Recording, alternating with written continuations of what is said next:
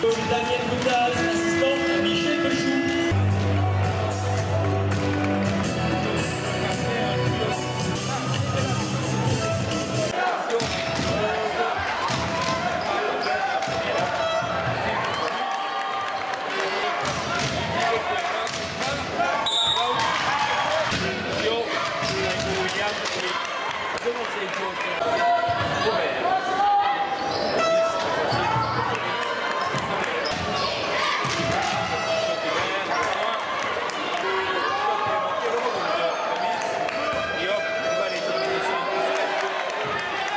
On savait qu'on allait avoir difficile ce soir, on savait qu'on devait être concentré et avoir beaucoup d'envie et je pense que c'est ce qu'on a fait tout au long du match ce soir. Malgré euh, de toutes premières secondes, une première minute un peu difficile, on vous a senti tout de suite vraiment dans le match et comme vous l'avez dit avec beaucoup d'envie, c'était une revanche à prendre par rapport à Ankara aussi Oui, je pense. Enfin, on savait aussi que c'était euh, où on passe ça casse quoi. En, en, gros, même si on, on avait encore une petite chance en perdant, on savait que si on gagnait, on prenait un grand pas euh, vers la qualification. Donc euh, je pense que le début du match, je, je crois que c'est un peu dû au stress aussi et puis on s'est vite reprise et on n'a pas on n'a pas sorti l'objectif de notre tête jusqu'à la fin du match.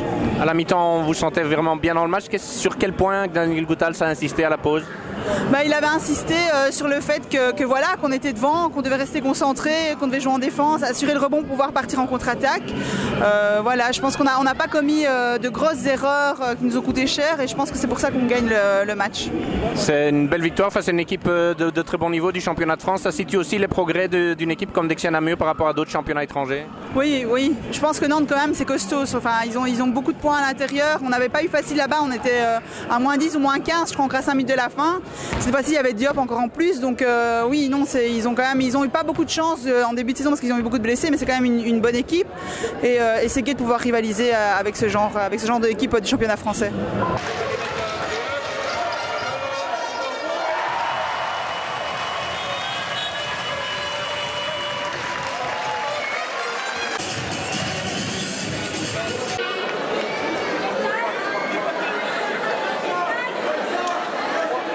Bon, ce qui était clair, c'est qu'on avait bien retravaillé et bien redéfini les points forts de l'équipe. Je crois qu'on euh, a réussi à, à, contrôler Williams et à contrôler l'intérieur, à empêcher la meneuse de pouvoir pénétrer. Donc là, je crois que les, les, les gros points ont été neutralisés. Maintenant, par rapport à ça, c'est clair que c'est une équipe très solide et, et, et, et, très costaud. Donc inévitablement, la moindre erreur défensive se paye cash. Malgré euh, les toutes premières minutes, on a senti un mur vite dans le match aussi. Oui, oui, oui je crois. Mais bon, c'était c'était clair qu'il fallait qu'on soit présent dès, l'entame. Je crois qu'ici, bon, bah, les, joueuses ont dû évacuer un petit peu ce, stress et, et, cette pression qui était là. Et puis, bon, bah, là, on, est vraiment, on était bien dedans. Il faudrait maintenant un gros concours de circonstances pour ne pas être au deuxième tour. C'était l'objectif, mais c'est quand même réussi avec la manière. Ben, oui, c'est ça. Je crois qu'ici, bon, ben, la semaine prochaine, on va avoir un déplacement à Vagos. Euh, ce ne sera pas facile parce que Vagos, ce sera leur dernier match et vont jouer, bien sûr, pour avoir une victoire et ne pas partir euh, de cette manière. Donc, il va falloir de nouveau se reconcentrer et ne pas partir là-bas avec la fleur au bout du fusil. Et maintenant, bon, ben, je crois que pour, euh, Nantes, ce ne sera pas évident non plus d'aller gagner à Ankara.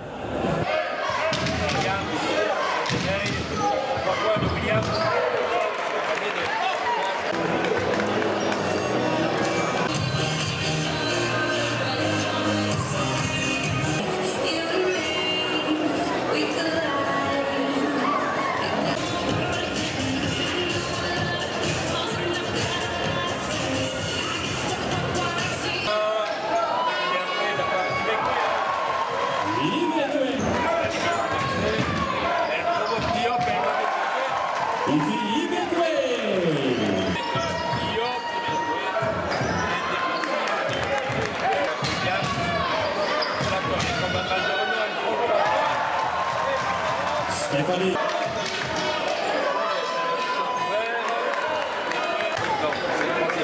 la balle.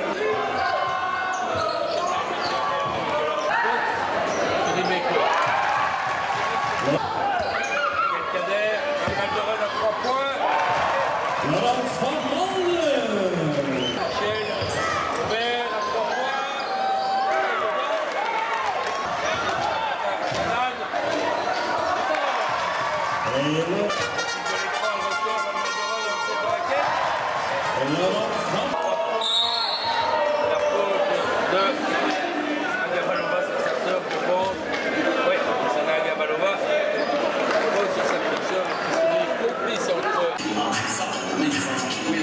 86-76, on a vu Nantes en difficulté face à une équipe de Namur qui a joué un gros match offensivement, défensivement.